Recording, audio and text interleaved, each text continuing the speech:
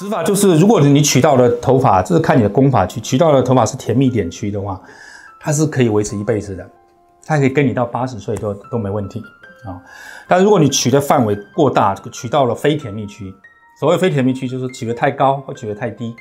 那这个时候有可能它就会受到雄性秃的影响。那它还是不可能一辈子，它可能五到十年内搞不好就会掉了。就是看你的取取法的的区域来来来做决定，对，这是这这是第一个特点。那第二个是说你有没有用药物来维持啊？如果你有配合药物来辅助的话，当然你的维的的效果就会持续持续下去，就就就算你取到是非甜蜜区，它效果一样会持续下去。其实因为植发是一个小手术，整个过程是它是清醒的，所以就植发本身的手术本身的风险是很低的啊，除非你对一些药物过敏。